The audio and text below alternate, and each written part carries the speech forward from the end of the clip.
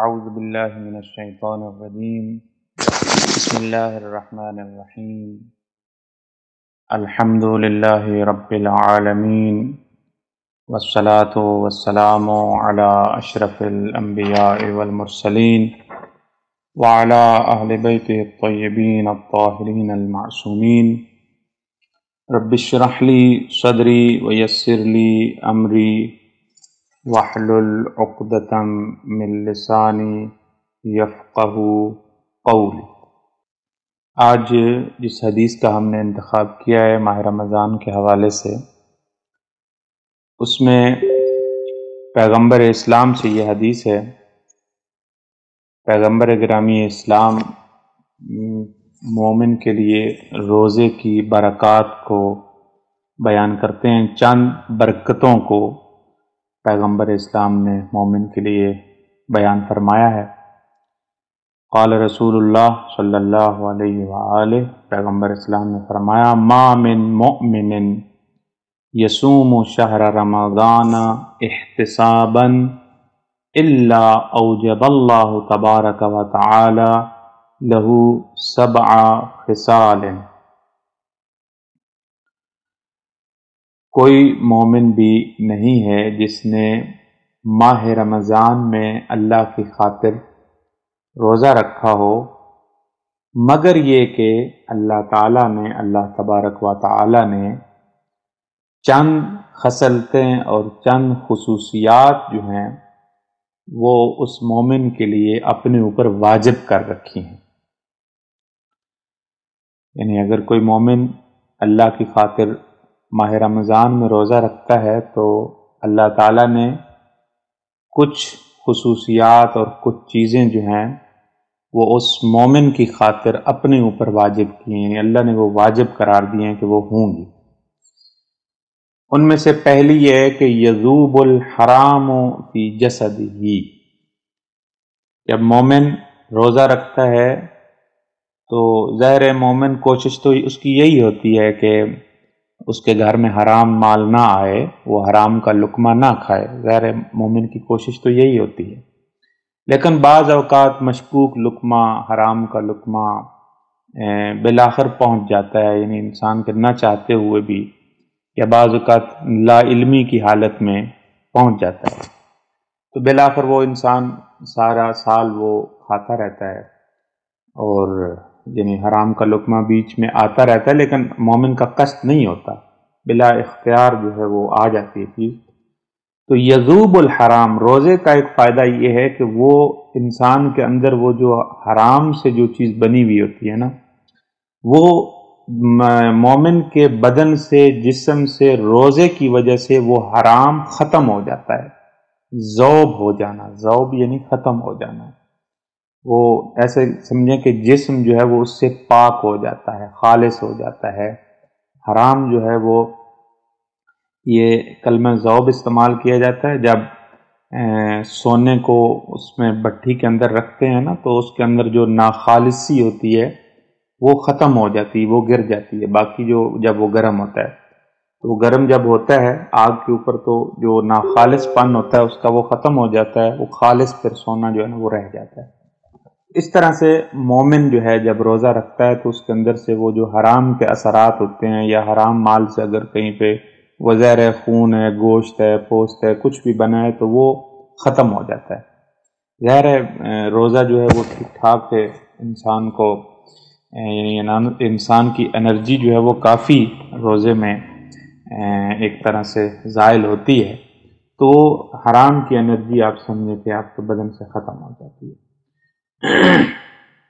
वस्तानिया तो और एक और फ़ायदा जो रोज़े का है वो ये है और एक और बरकत जो रोज़े की है, वो ये है कि यकरबो मिन रहमतिल्ला ये मोमिन माह रमज़ान के रोज़े की वजह से अल्लाह की रहमत के करीब हो जाता है। ये अल्लाह की रहमत के करीब हो जाना। ये बहुत अहम बात है कि इंसान रहमत इलाही के करीब हो। माह रमज़ान में मोमिन के यहाँ जो अल्लाह की रहमत होती है, वो बहुत करीब होती है। इसलिए ज़्यादा दुआएँ करने का भी हुक्म है ना। ज़हर जब रहमत करीब है तो इंसान को दुआएँ मांगनी चाहिए, ताकि खुदाबंद मताल जो है, वो हमारी दुआओं को कबूल करे उस रहमत की वजह से। फिर एक और फ़ायदा बयान किया कि युहवनुल्लाह सकरातिल मौत।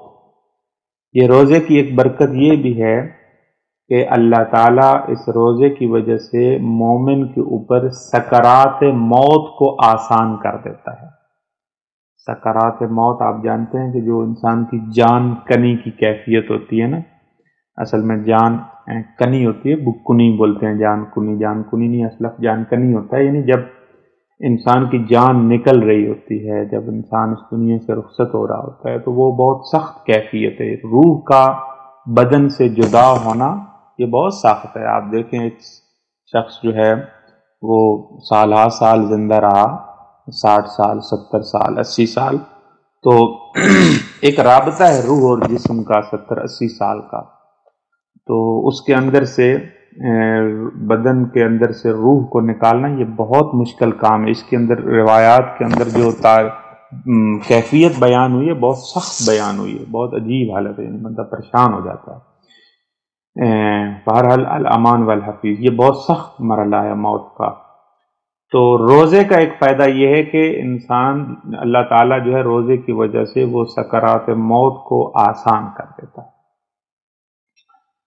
और उसके बाद एक और बरकत रोज़े की यह है कि अमान मिनल जू वल आतश यौमल क़ियामा।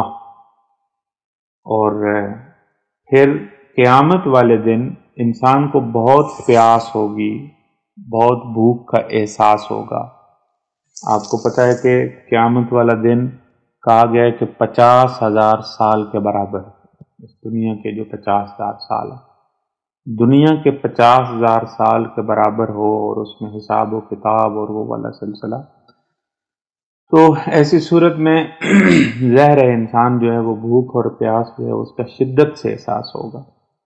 तो जहर जिस मोमिन ने दुनिया में भूख और प्यास जो है वो काटी है और बर्दाश्त की है, अल्लाह ताला क़यामत वाले दिन इस भूख और प्यास की वजह से उस भूख और प्यास से, प्यास जो है उससे अमान अता फरमाएगा। तो क़्यामत वाले इंसान, क़्यामत वाले दिन इंसान भूख और प्यास से अमान में होगा। ये बरकत है। और छठी या एक और जो खसलत है या एक और जो खसूसियत है रोज़े की, वो ये है कि योती हिल्ला हो बरा अतम मिनन्नार अल्लाह ताला इस रोज़े की वजह से इस रोज़े की वजह से खुदा मुताल जहन्नम से नजात इनायत फरमाएगा बरात इनायत फरमाएगा, यानी नजात इनायत फरमाएगा। इंसान नारे जहन्नम से, जहन्नम की आग से महफूज हो जाएगा। और एक और खसूसियत ये फरमाई कि युत युत मिन तयबातिल जन्ना और अल्लाह ताला उस मोमिन को इस रोज़े की वजह से जन्नत के पाकिज़ा, जन्नत की पाकिज़ा नेमात से उसको खिलाएगा। यानी वो जिन पाकिज़ा खाने हैं, पाकिज़ा नेमतें हैं खुदा बंद मुताल उन पाकिज़ा नेमतों से इताम करेगा, यानी खिलाएगा। तो ये देखें, चाँद, आप अगर तवज्जो की हो आपने तो इस, इन खसलतें, ये जो खसूसियात बयान की गई, इनमें से कुछ ऐसी थी जिनका दुनिया के साथ ताल्लुक था। बल्कि ऐसे समझे कि, बल्कि एक तरतीब थी कि दुनिया से शुरू होकर आखरत तक के मरले के लिए। इतना फ़ायदा है माह रमज़ान के रोज़े का कि आप शुरू यहाँ से हो रही है कि जिसम के अंदर से वो हराम का असर ख़त्म हो जाएगा और फिर अल्लाह इंसान रहमत के करीब हो जाता है। फिर आगे मौत का मरला आ जाता है, फिर मौत, सकरात मौत में आसानी होगी, फिर क़्यामत का मरला आ जाता है कि इंसान को प्यास और भूख से नजात मिलेगी। फिर उसके बाद जहन्नम से फिर ज़ाहिर क़्यामत का मरला गुजरेगा तो उसके बाद ज़ाहिर जन्नत और जहन्नम की तकसीम होगी कि कुछ लोग जन्नत में जाग, जा रहे होंगे कुछ जहन्नम में तो खुदा बंद मुताल जहन्नम से नजात इनायत फरमाएगा और जन्नत के पाकिज़ा, जन्नत की पाकिज़ा नमात से इंसान इस्तेफादा करेगा। तो ये है रोज़े की बरक़ात और दुआ है खुदा आलम के बारगाह में खाल के कायनात हमें ऐसा ही रोज़ा रखने की तोफ़ी के नायत फरमाए जिससे, जिसकी वजह से हम इन नेमात से बहरामंद हों। सूरह मरियम की आयत नंबर चौवन और पचपन। चौवन और पचपन यानी फिफ्टी फोर और फिफ्टी फाइव सूरह मरियम की आयत नंबर फिफ्टी फोर और फिफ्टी फाइव इसमें खुदाबंद मताल का इरशाद है इन दो आयतों में। ये भी आयत जो है वो उसी मौजू से रिलेटेड है कि ख़ानदान, कुरान की निगाह में ख़ानदान की तरबियत। आउज़बिल्लिनशैतानरजीम बसमीम आयत इस तरह है। वदकुर फिल किताब इस्माइल। इन्नहु काना सादिकल वकान रसूलन नबिया। वकान यामुरु अहलहु बिस्सलाति वज़्ज़काति वकान रब्बिही मरदिया ये दो आयतें हैं सूरह मरियम की। वजकुर फिल किताब, तर्जमा पेश करते हैं कि वजकुर फिल किताब, ज़िक्र करो, याद करो इस किताब में, यानी कुरान मजीद में। याद करो, किसको याद करो? इस्माइल। इस्माइल को याद करो। ये कौन है इस्माइल? चंद खसूसियात बयान हुई। इन्नहू कान साद कल वाद। ये वो शख्सियत हैं जनाब इस्माइल, जो वादे के सच्चे थे साद कलवा वादे के सच्चे थे। वकान रसूल नबिया। और दूसरी खसूसियत यह है कि वो रसूल और नबी थे। रसूल भी थे, नबी भी थे। फिर उसके बाद वकान या मोरो आहलहू बिसलात व ज़क़़त और उनकी तीसरी खसूसियत ये है कि वो अपने अहलोयाल को नमाज़ और ज़क़़त का हुक्म देते थे। और आखिरी खसूसियत यह है कि वकाना इन रबी ही मर्दिया और अपने परवरदिगार के हाँ पसंदीदा शख्सियत थे। अपने परवरदिगार के यहाँ पसंदीदा शख्सियत थे। तो ये उनकी खसूसियात हैं। आपको समझ आ गई होगी कि हमने इस आयत को अपने मौजू से क्यों, इसमें क्या चीज़ है जिसकी वजह से हमने इस आयत का इंतखब किया है अपने मौजू के लिए? क्योंकि इसमें लफ्ज़ है, वकाना या अमरो आहलहू बिसलात व ज़क़़त क्योंकि वो अपने अहल को नमाज़ और ज़क़़त का हुक्म देते थे। तो ये हमारे ये जो जुमला है ये हमारे मौजू से मरबूत है लेकिन ज़ाहिर हम पूरी आयत की डिटेल से जैसे हमारी तरीक़ाकार और रिवाल है कि हम एक एक लफ्ज़ की वजात करते हैं तो इसी तरह हम इस, इस इन आयात की भी वजात पेश करेंगे ताकि बात वाज हो जाए। पहली चीज़ के कहा गया वजकुर। आप ज़िक्र करें, याद करें। अब यहाँ से एक नुक्ता जो निकलता है वो ये है कि ये कुरान में बहुत सारी जगह पे है। वज़कुर फिल किताब, मसलन हज़रत मूसा को याद करो, हज़रत इब्राहिम को याद करो, हज़रत मरियम को याद करो। ये इसी इसी सूरा में वज़कुर बहुत ज़्यादा है और बाकी भी सूरतों में कई जगह पे लफ्ज़ वज़कुर आया है। तो ये जो लफ्ज़ वज़कुर है, यानी याद करो। ज़िक्र करो, वही ज़िक्र करने से है, याद करो, ज़िक्र करो। यहाँ से एक चीज़ जो नुक्ता जो निकलता है वो ये है कि खुदावंद मुताल ने बाज गुज्त शख्सियात का ज़िक्र किया है कुरान में। और बाकायदा इस लफ्ज से कि ज़िक्र करो, यानी ये बहुत अहम है। वैसे ही ज़िक्र कर देता खुदावंद मुताल किसी नबी का या किसी पैगंबर का। या किसी भी शख्सियत का। लेकिन साथ में यह कहना कि याद करो, ये बहुत अहम याद करो।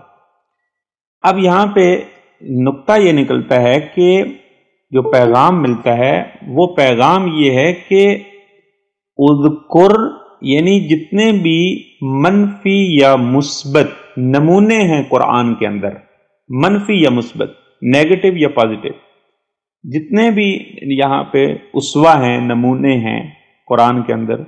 कुरान ने उनको पेश किया है। आप देख लें फिर को पेश किया है और इसी तरीके से जो फिर की बीवी है, उसको भी पेश किया है जनाब आसिया को। जनाब लूत को भी पेश किया, जनाब लूत की बीवी को भी पेश किया नमूने के तौर पे। और इसी तरीके से जनाब इब्राहिम और जनाब इब्राहिम का खानवादा और बाकी अम्बिया ज़ाहिर तकरीबन 25 से 26 अम्बिया हैं जिनका तस्करा है कुरान मजीद में। तो ये मुस्बत और मनफी अता यानी जनाब नूह अलैहिस्सलाम के बेटे का भी ज़िक्र किया, यानी जो मनफी था नेगेटिव था। एक उस, एक एक तरह से आप कह लें कि वो भी एक नमूना है बिलाखर। तो मतलब यह है कि इनसे हमने बचना है और इन, इस तरह की काम नहीं करने, ऐसा किरदार नहीं अपनाना और जो रहे पॉजिटिव नमूने हैं, उस वह उनकी इब्तदा करनी है। और तो ये उज़कुर जो है, ये हमें ये बता रहा है कि कुरान मजीद ने ये जो बाकायदा इस बात की तरफ़ तवज्जो दी है कि हमें रोल मॉडल जो है वो हमारे मुन होने चाहिए कि हमने किन से इस्तफादा करना है, कैसी शख्सियात से, कि, कैसी शख्सियात की इक्तदा करनी है, पैरवी करनी है। ये एक बात होगी उस कुर से, हम ये एक बात ये निकलती है। और इसीलिए खुदाबंद मुताल ने यहाँ पे जनाब इस्माइल का ज़िक्र किया। इसके बाद ये एक और बात भी इस बात से निकलती है, वो ये है कि कुरान ने एक हमें नुकता दे, एक पैगाम दे दिया, बल्कि एक कायदा दे दिया कि नेक लोगों की हमेशा याद मनाएँ। ये भी इसी आयत से हमने इस्तेफादा किया और बाकी जहाँ पे वजकुर का कलमाया है। यानी हज़रत मूसा का, हज़रत मरियम का और इस तरह का है कि उनको याद करो। तो बस ये, यहाँ से हमें कुरान ने ये भी पैगाम और मैसेज दे दिया कि जो नेक लोग हैं, उनकी याद मनानी चाहिए, याद करना चाहिए उनको। खुद कुरान कह रहा है, भाई, उजकुर, याद करो। तो इसका मतलब है, ना याद करता खुदावंद मताल। वैसे इसी बात को, ये जो काना साद कलवाद वाली बात है, हज़रत इसमाइल की बात ना करता खुदावंद मताल। वैसे कह देता कि, भाई, सच अपनाओ, सच अपनाना ज़रूरी है। अपने अहल वयाल को नमाज़ और जक़ात का हुक्म दो तब आप जाकर अल्लाह के यहाँ पसंदीदा शख्सियत बनोगे। ये भी तो कह सकता कह सकता था खुदा बंद मुताल लेकिन ये कहना कि ये इस्माइल इस तरह की शख्सियत थी। एक तो हमारे लिए रोल मॉडल के तौर पे हज़रत इस्माइल को पेश किया जा रहा है, और दूसरा ये भी साथ में कहा जा रहा है कि जो नेक लोग गुजरे हुए हैं, जिनके अंदर अच्छी सिफात हैं, पाकिजा लोग हैं मुतकी हैं, परहेजगार हैं, वो अम्बिया हूँ, वो आइम्मा हूँ, जैसे कायमा सलाम हैं यही हम, यहीं से हमें कुरान ने ये बता दिया कि उनकी याद मनानी चाहिए, उनके लिए महफल और मजलिस जो है वो रखनी चाहिए। यहीं से साबित हो गया कि ये जो हम मजलिस रखते हैं, ये जो प्रोग्राम रखते हैं अपने आइमा के लिए, उनकी विलादत, शहादत का जो तस्करा होता है उसमें, असल उसका हदफ भी यही होता है कि उसके अंदर कि हमें उनकी याद मनानी चाहिए और ये कुरानी हुक्म है, जैसे कि कुरान जो है वो बाकी नेक लोगों का यहाँ पे तस्करा कर रहा है और कह रहा है कि उनको याद करो और उनकी अच्छी सिफात का ज़िक्र कर हाँ ये अगली बात होगी, ये हमारे लिए। अब ये तो हो गया, आप एक तरह से कह सकते हैं मुखालिफिन को आप जो है जवाब दे सकते हैं कि भाई कुरान ने कहा है कि नेक लोगों की याद मनानी चाहिए। तो हम तो कुरान के ऊपर अमल कर रहे हैं क्या? आयमा के लिए मजालिस बपा करते हैं। ये तो हम कुरान के ऊपर अमल कर रहे हैं। एक तो बात। लेकिन हाँ इस बात की तरफ़ तवज्जो रहे कि जैसे कुरान ये कह रहा है ना कि इस्माइल जो है उनको याद करो तो क्या चीज़ उनकी याद करनी है? ये भी बता दिया ना कि वो सच्चे थे सादे कलवाद थे, रसूल थे, नबी थे, अपने अहल वयाल को नमाज़ का हुक्म देते थे और खुदा के यहाँ पसंदीदा शख्सियत थे। तो इसका क्या मतलब है? यानी मैटर भी बता दिया कि मजलिस के अंदर का मैटर ये होना चाहिए, एक नमूना हमें दे दिया कि मजलिस के अंदर ये ना हो कि आप तोहीद के खिलाफ बातें करना शुरू हो जाएँ, या आयमा को मकाम उलूहियत पे खुदा बनाना शुरू कर दें, वहाँ पे बिठाना शुरू कर दें। नहीं, ऐसा ना करें।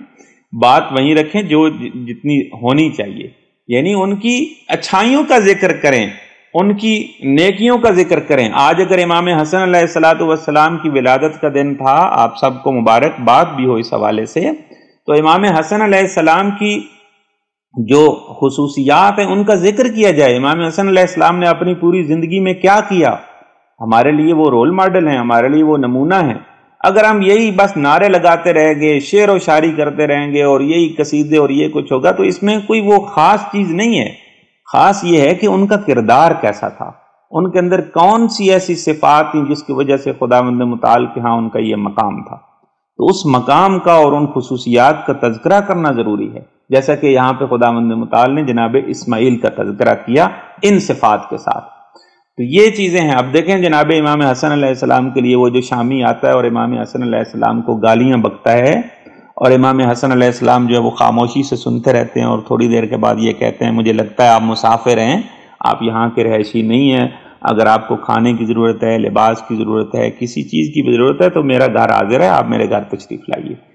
तो अजीब वो हैरान रह गया कि मैं क्या कह रहा हूँ और मुझे जवाब में क्या कहा जा रहा है। तो ये है अखलाक मोहम्मदी, ये है अखलाक हसना, ये है आयमा मसलात वसलाम की सीरत। इन चीज़ों को बयान होना चाहिए हमारे मेंबरों से और हमारी। बस दो चीज़ें होगी। कुरान मजीद ने इस छोटे से जुमले में चंद पैगाम दे दिए। एक तो एक तो ये कि मुखालफी के लिए कि जो हमें कहते हैं कि मजलसें और ये वो आप क्यों मनाते हो? उनको भी बता दिया कि भाई ये कुरान का हुक्म है और ये कुरानी तरीक़ाकार है और ये हमें करना चाहिए। और ये भी साथ में कह दिया कि भाई आपके लिए पैगाम ये है कि अपने मजालस के अंदर जो है वो मन घड़त बातें उधर से इधर के किस्से कहानियाँ नहीं बयान करें, वो जो मुस्तनद उनकी सीरत तैयबा है उसको ज़िक्र करें जो हमारे लिए उसव हसना हो, हमारे बच्चों के लिए राह गुशा हो। तो ये हमें कुरान ने जो है आज इस आयत में ये हमें पैगाम दे दिया। इसके बाद ये था हमें कल में वजकुर के मतलब वजात थी।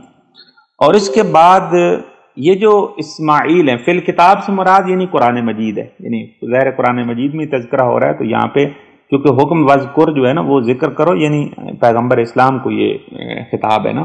तो पैगंबर इस्लाम को मुखातब होते कहा जा रहा है कि आप ज़िक्र करें किताब में, यानी इस किताब में। अल किताब यानी अलिफ्लाम वो है यानी इस किताब यानी कुरान मजीद में।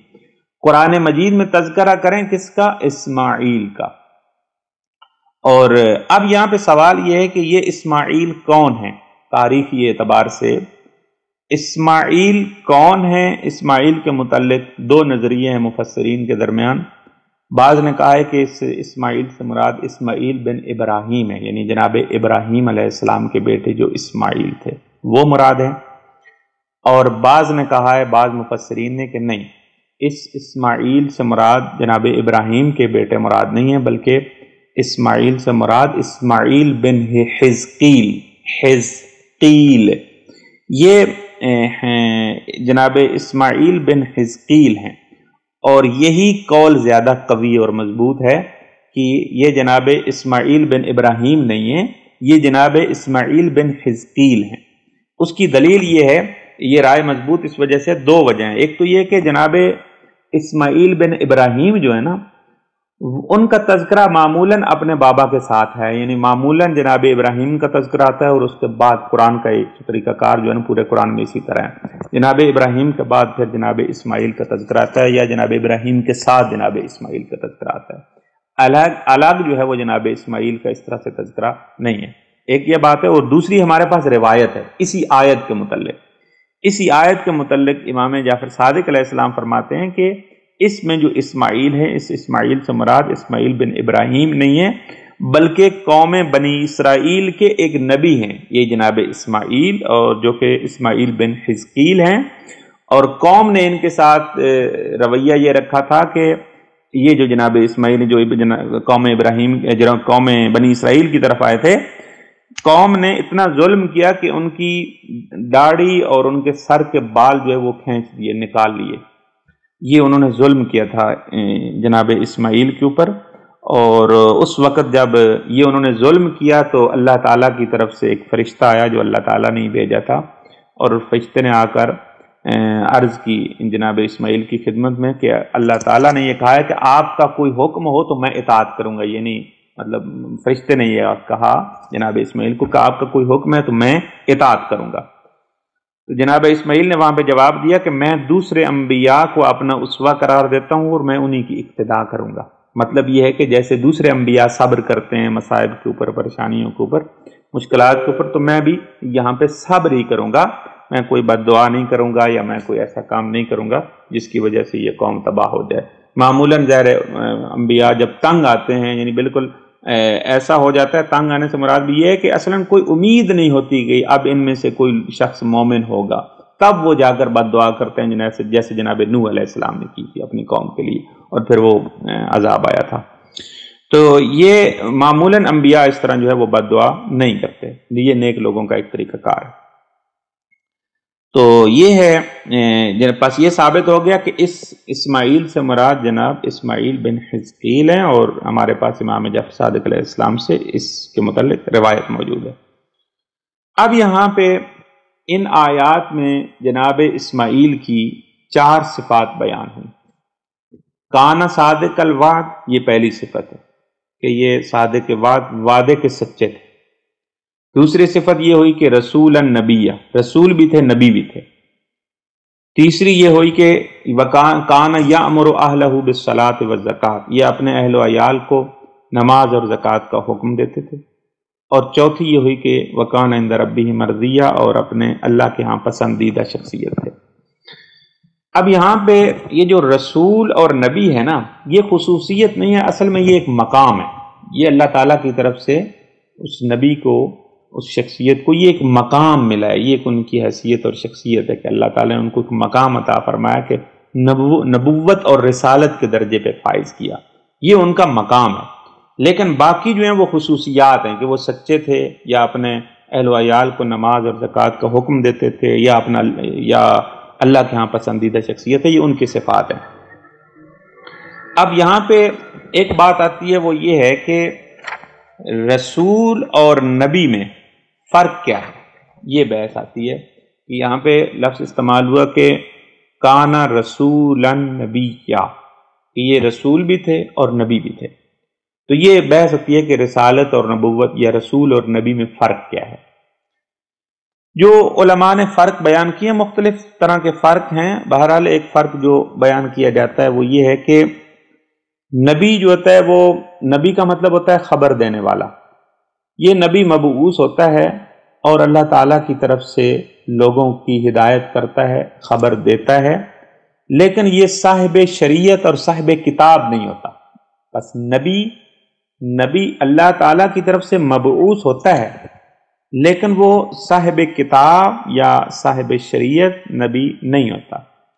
लेकिन जो नबी नबुवत के साथ साथ यानी नबी होने के साथ साथ साहिब शरीयत भी हो और साहिब किताब भी हो, उसको कहते हैं रसूल। इसी वजह से हमारे यहाँ रसूलों की तादाद कम है और अम्बिया की तादाद ज़्यादा है। मशहूर तो यही है कि एक लाख चौबीस हज़ार अम्बिया हैं और उन अम्बिया में से तीन सौ तेरह जो है वो रसूल है। तो आप ऐसा समझ लें कि तीन सौ तेरह अम्बिया जो हैं वो साहिब किताब और साहिब रसालत थे। साहिब शरीयत। बाकी अम्बिया ये जो बाकी नबी होते हैं ना, ये बात गुजश्ता अम्बिया की दीन की तबलीग करते हैं। यानी नई शरीयत नहीं आती, नया कानून नहीं आता। वही जो पहले वाले नबी के कानून होते हैं, जो उससे पहले जो नबी और रसूल गुजर चुका है जो रसूल गुजरा हुआ होता है, उस पहले रसूल की ये बाज नबी जो हैं, उन्हीं की दीन की तबलीग करते हैं बाद में भी। तो लिहाजा, बस अगर आप ये कहें कि हर रसूल नबी ज़रूर है हर रसूल नबी ज़रूर है, लेकिन हर नबी ज़रूरी नहीं कि वो रसूल भी हो। ठीक है, ये बात यहाँ तक आपके लिए वाज हो गई।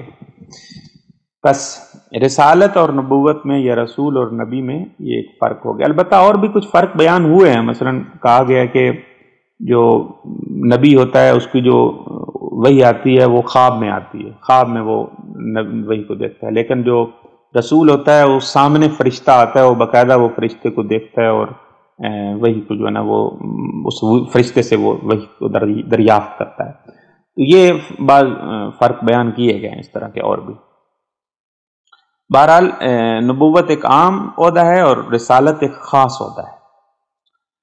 इसके बाद बात आ जाती है कि ये जो हज़रत इस्माइल हैं, ये रसूल भी थे, नबी भी थे तो रिसालत और नबुवत से पहले एक सिफत का ज़िक्र आया है और फिर रिसालत और नबुवत के बाद दो सिफतों का ज़िक्र आया है। रिसालत और नबुवत से पहले जिस सिफत का ज़िक्र आया है, वो है साद कलवात और रिसालत और नबुवत के बाद जो दो सिफतें आई हैं, वो हैं, वकान या अमरसलात व जक़ात, वकान इंद रबी मर्जिया, ये दो। तो अब ये सवाल है कि रिसालत और नबुवत से पहले ये जो सादक वाद ज़िक्र हुआ है, इसकी क्या वजह है? क्यों सिद्ध के वाद को, वादे की सच्चाई को रिसालत और नबुवत से पहले ज़िक्र किया गया है? ये क्यों ऐसा है? अब देखें, ये तवज्जो इसलिए दिलाई जाती है ताकि हमारा कुरान से रबता बढ़े। ये अल्लाह की किताब है। इसके अंदर एक एक चीज़ जो है ना, वो नाप तोल के रखी गई है। ऐसे नहीं है कि हमारे यहाँ जैसे हम अपनी ज़बान में कुछ भी आया तो मुँह में बोल दिया। ऐसा नहीं है। अल्लाह ताला की किताब है और खुदा मुताल में एक एक लफ्ज़ को, अब तो हम कुछ इससे यानी वही जो ज़ाहिर है वही बयान हो रहा है। वरना जो हकायक हैं इसके अंदर, वो तो अहले दिल सही समझ सकते हैं या अहल बैतलाम जो वो सही समझ सकते हैं। तो ये जो हमें थोड़ा बहुत हमारी नाकिस सोच के मुताबिक जो हमें समझ आता है और जो हमने मुताल किया है और वो वो आपके सामने पेश कर रहे हैं कि इन्ना कान साद कलवाद रिसालत और नबुवत से पहले एक ये जो सिफत ज़िक्र हुई है, सदाकत वाली, इसकी वजह यह है कि लोग रिसालत और नबुवत को तब मानेंगे जब वो रसूल और नबी वो सादिक होगा, सच्चा होगा, यानी वो मौरद एतमाद होगा। अगर वो मौरद एतमाद ही नहीं है तो ज़ाहिर लोग उसकी रसालत और नबूवत को कहाँ मानेंगे? अगर वो सच्चा नहीं है, उसके अंदर एतमाद ही नहीं, लोग उससे कर सक, उसके ऊपर नहीं कर सकते, उस पर ट्रस्ट किए ही नहीं जा सकता तो फिर कैसे जो है वो आकर ये कहे कि मैं अल्लाह का नबी हूँ? बस पहले जो है, अल्लाह ताला ने जनाब इस्माइल के पास जो पहली सिफत थी वो ये थी कि वो सादे के वाद, यानी सच्चे नबी थे। अब ये जो सिद्ध के वाद है, जब इंसान के अंदर सिद्ध के वाद आता है, वादे की पाबंदी करता है तो लोग उसके ऊपर एतमाद करते हैं।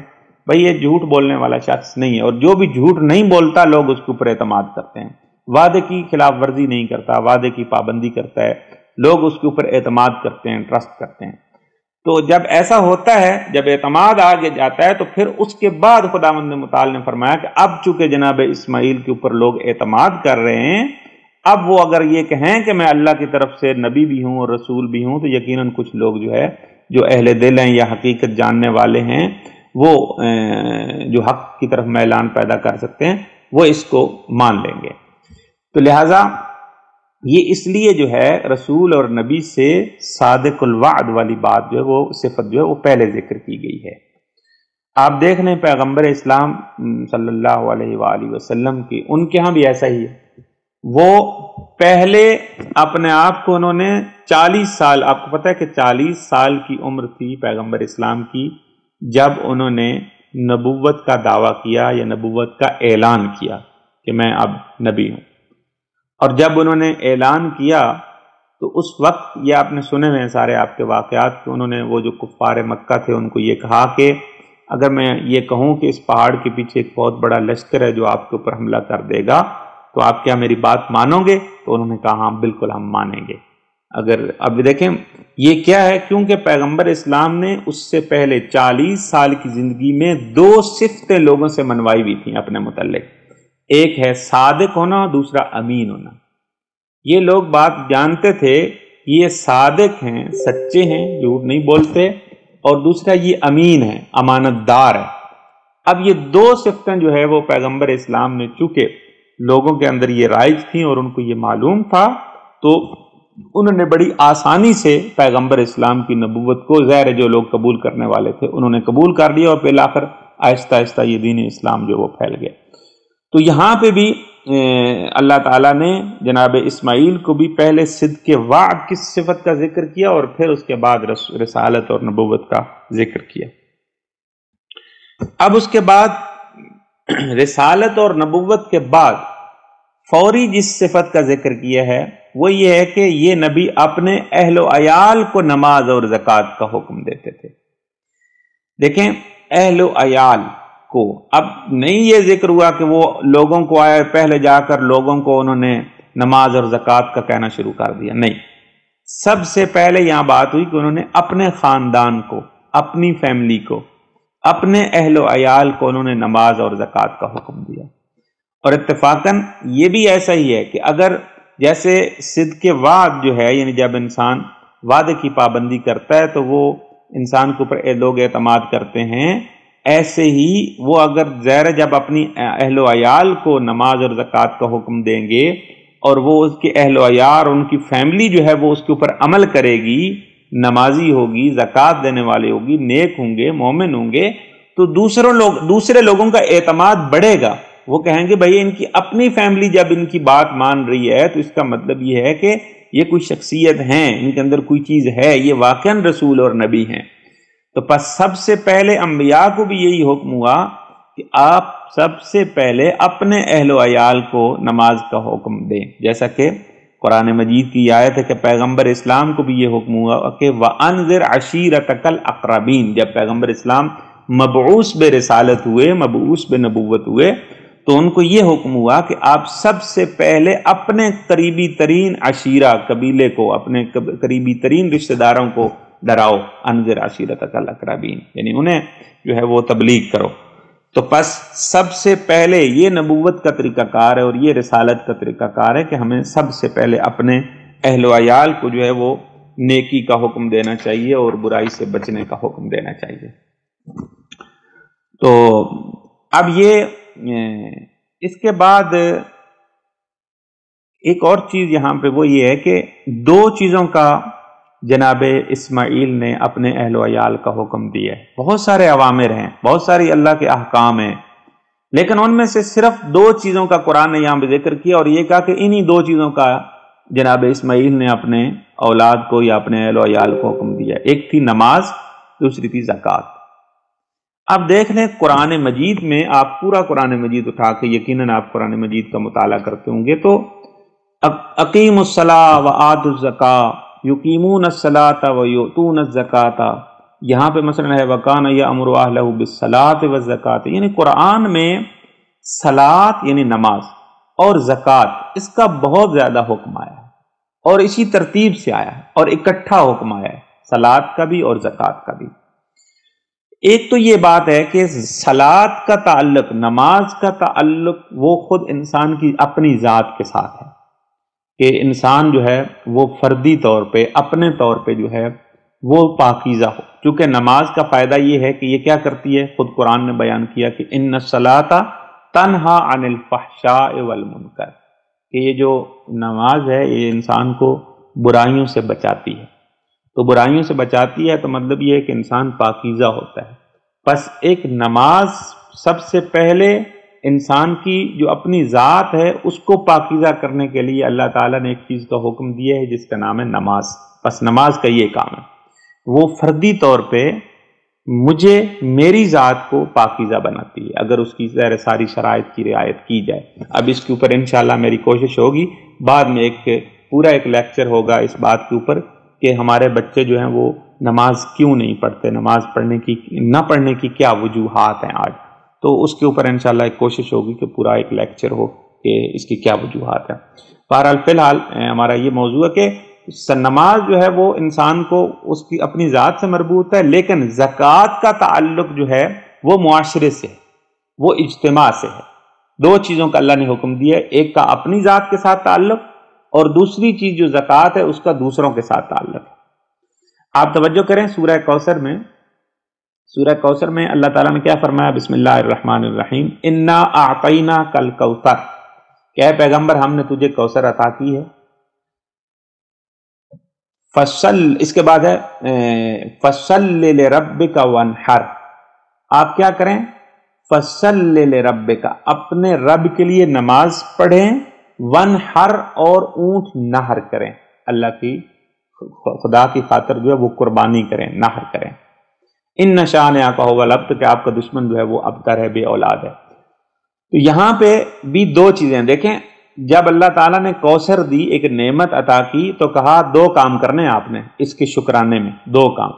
एक ये है कि आपने नमाज़ पढ़नी है, और दूसरा ये कि कुर्बानी देनी यानी एक का ताल्लुक आपकी अपनी ज़ात के साथ है कि आपने नमाज़ पढ़नी है अल्लाह के शुक्राने के तौर पे और दूसरा आपने वन हर कुर्बानी देनी है और लोगों में भी ऐलान करना है कि अल्लाह ताला ने मुझे कौसर अता किया। अब जहर है, हमारे यहाँ कौसर की जो तफसीर है, वो बीबी फातमा तुजारा सलाम से की जाती है कि बीबी फातमा तुजारा सलाम जैसी नेमत मिली है पैगंबर इस्लाम को तो अल्लाह ताला ने कहा कि इसके शुक्राने के तौर पे नमाज़ पढ़ें और साथ साथ में लोगों को भी ऐलान करके बताएँ कि अल्लाह ताला ने मुझे खैर कसीर अता किया।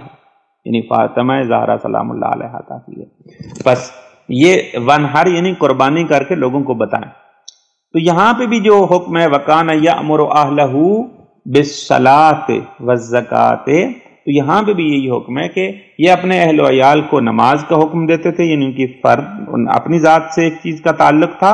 और दूसरा ये कि माशरे के फ़करा और मसाकिन का भी जो है, वो भी आप लोगों ने ख्याल रखना है और उनकी जो ज़रूरियात हैं, उनको पूरी करनी है ज़क़़त के ज़रिए। यही दीन के अंदर, यही यानी दीन का बेहतरीन चेहरा है। हमारे यहाँ फ़कत और फ़कत जो है, वो ये कोशिश की जाती है कि हाँ भाई नमाज़ तक दीन को हम महदूद करते हैं। जबकि आप तवज्जो करें कि कुरान में कितनी जगह पे सलात और ज़क़़त का इकट्ठा ज़िक्र आया यही हमें पैगाम दे रहा है कि ये अल्लाह ताला हमें ये हुक्म दे रहा है कि ए इंसान, तूने अपनी तरबियत भी करनी है और साथ में मुआशरे की भी तरबियत करनी है। एक तरफ़ से अपनी ज़ात के तजकिया नफ्स करना है और साथ में मुआशरे के साथ भी जुड़े रहना है। मुआशरे से दूर नहीं होना। ऐसा नहीं है कि आपने लोटा और मुसल्ला उठाना है और कहना है कि मैं तो आरफ हो गया हूँ और मैं तो बड़ा परहेजगार और मुतकी हूँ और फिर जाकर जंगलों में जा बैठ के इबादत करना शुरू कर देनी है। ऐसा नहीं है। बल्कि एक ताल मुआशरे के साथ भी तेरा ताल्लुक है। तो लिहाजा ये अम्बिया कराम और ये कुरान का जो है वो तरीक़ाकार है कि हमें नमाज़ और ज़क़़त दोनों का हुक्म दिया गया है।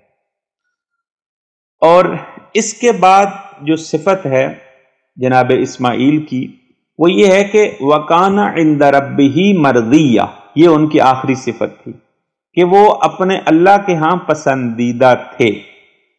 अल्लाह के यहाँ पसंदीदा थे ये देखें, नतीजा क्या है? आप तवज्जो करें कि सदाकत का नतीजा ये निकला कि जनाब इस्माइल को नबुवत और रिसालत मिली। क्योंकि पहली सिफत सदाकत थी तो सदाकत का यह नतीजा निकला कि अल्लाह ताला ने नबुवत और रसालत अता की जनाब इस्माइल को। और फिर ये जो नबुवत और रसालत है और सदाकत है, इसके साथ इसके बाद जब उन्होंने अपने अहल को नमाज़ और ज़क़़त का हुक्म दिया, ये सारे काम उन्होंने किए। यानी वो सादक वाद भी थे, वादे के सच्चे भी थे और अपने अहल को नमाज़ और ज़क़़त का हुक्म भी देते थे। तो इसके नतीजे ये निकला कि वकाना इंद रब ही मर्जिया, वो अपने अल्लाह के यहाँ पसंदीदा होगा। ये इसका नतीजा है। यानी इसका रब्त है वकाना इंद रबी मर्दिया का पहली दो सिफ्तों के साथ। पहली जो दो सिफ्तें थी ना कि वो सादिक अलवाद भी हैं और अपने अलवयाल को नमाज़ और जक़ात का हुक्म देते हैं, ये उसका नतीजा है कि अल्लाह के यहाँ वो पसंदीदा शख्सियत करार पाए। यानी ये भी हमें एक पैगाम दिया जा रहा है। इंशाल्लाह जब बाद में हम पैगाम बयान करेंगे तो उसमें ये चीज़ें आएँगी कि अगर आप चाहते हैं कि आप अल्लाह के हम पसंदीदा हूँ तो ये दो सिफतें अपनानी होंगी आपको। एक तो वादे के सच्चे हों और साथ में अपने अहलो अयाल को नमाज़ और ज़क़़त का हुक्म दे। तब जाकर आप अल्लाह के यहाँ पसंदीदा शख्सियत बन सकते हैं। अब यहाँ पे बाज मुफसरीन ने ये कहा कि वकाना इंदा रबी ही मर्दिया, वो अल्लाह के यहाँ पसंदीदा थे। उन्होंने कहा, नहीं, उनका ये अमल पसंदीदा था। बाज ने ये तफसीर की है कि मतलब इससे मुराद ये है कि वो अल्लाह के यहाँ पसंदीदा थे। मतलब ये चूँकि ये जो नमाज़ और जक़ात का हुक्म देते थे, वो वादे के सच्चे थे, ये जो उनका अमल था ना सिद्ध के वाद और नमाज़ और जक़ात का हुक्म देना, ये पसंदीदा अमल था अल्लाह का। ये बाद लोगों ने इसकी तफसीर की है। लेकिन हमारे शिया मुफसरीन ने ये लिखा है कि नहीं वकाना इंदा रबी ही मर्दिया ना ये अमल उनका पसंदीदा बल्कि उनकी ज़ात अल्लाह के यहाँ पसंदीदा हो गई है। ज़ात खुद ये बहुत अहम है ये उससे ऊपर वाला दर्जा है। अमल एक पसंदीदा होना मुमकिन है किसी शख्स का एक अमल अल्लाह को पसंद आ जाए लेकिन वो खुद शख्सियत पसंद ना हो। ये हो सकता है। बाद लोगों के आम, अमल अच्छा होता है आप कह सकते हैं भाई फलान शख्स का ये अमल अच्छा है, लेकिन खुद ठीक है, वो बुरा है, सब कुछ है, लेकिन उसका ये अमल अच्छा है। लेकिन अल्लाह के यहाँ ये जो है, वकान इंदा रबी मर्जिया, ये कहा जा रहा है कि नहीं, ये अमल तो जहर वो पसंदीदा है ही, लेकिन इस अमल के नतीजे में अल्लाह ताला ने उनकी ज़ात को, उनकी शख्सियत को पसंदीदा करार दिया अपने यहाँ बस ये है, यानी खुदा मंद मुताल जो है, वो फिर, यानी उस जनाब इसमाईल की ज़ात जो है, वो अल्लाह के यहाँ इस अमल के नतीजे में पसंदीदा हो। न ये कि ये फ़कत अमल जो है अल्लाह के यहाँ पसंदीदा था। ये बहुत अहम बात है। अब इसके बाद आप तवज्जो करें तो इस आयत में एक आमिर है, एक मामूर है और दूसरा मामूर बेह। ये थोड़ी ताबीरात शायद आपके लिए सख्त हैं। आमिर से मतलब ये है कि एक हुक्म देने वाला है। मामूर ये वो है जिसको हुक्म दिया जा रहा है। और एक वो है जिस चीज़ का हुक्म दिया जा रहा है। तीन चीज़ें यहाँ इस आयत में अगर आप तवज्जो करें। ये जो है ना, वकान या अमर आहलहू बिसलात व जक़ात, में इसकी बात कर रहा हूँ कि जनाब इस्माइल जो है वो अपने अलवयाल को नमाज़ और जक़ात का हुक्म देते। तो यहाँ पे ये सवाल है कि किसने किसको किस चीज़ का हुक्म दिया है? किसने दिया है? पैगंबर अम्र दे रहे हैं, यानी जनाब इस्माइल, ये अम्र दे रहे हैं। किसको दे रहे हैं? अहलहू, अपने अहलवायाल को। और किस चीज़ का हुक्म दे रहे हैं? बिसलात व जक़ात। सलात और जक़ात, यानी नमाज़ और जक़ात का हुक्म दे रहे हैं। तो ये चंद चीज़ें हैं इसके अंदर। ये इनशाला कल से जो है इसी आयत के जो निकात हैं, यानी जो तरबियती नुक्ते यहाँ से निकलते हैं, वो भी इनशाला कल अर्ज़ करेंगे। आज जो है फ़कत हमने आयत के अल्फाज की वजात पेश की है और तफसीर की है। दुआ के खुदा आलम हमें जनाब इस्माइल की इन सिफ़ात को अपनाने की तोफ़ी इनायत फरमाए। जी अगर आप लोगों को सवाल हो तो पूछ सकते हैं।